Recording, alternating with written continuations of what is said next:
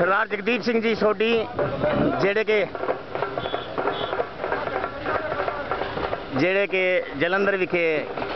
ਭਾਰਤ ਦੇ ਗ੍ਰਹਿ ਮੰਤਰੀ ਅਮਿਤ ਸ਼ਾਹ ਜੀ ਨੂੰ ਹਾਜ਼ਰੀ ਦੇਣ ਜਾ ਰਹੇ ਹਨ, ਆਪਣੇ 50 ਬੱਸਾਂ ਦਾ ਕਾਫਲਾ ਲੈ ਕੇ